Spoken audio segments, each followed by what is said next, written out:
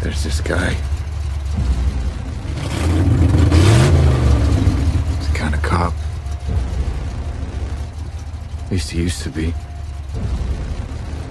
He doesn't care about proof. He doesn't care about the law. He only cares about what's right.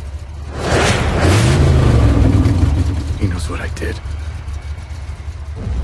You can't protect me.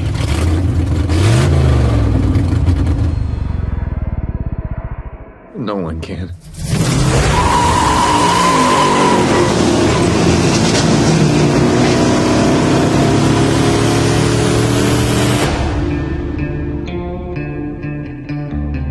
You think I'm a hero? I am not a hero. And if you're smart, that scares you.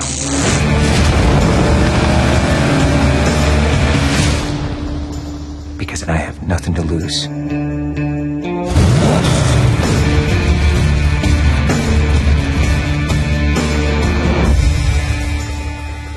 Remember, you wanted this.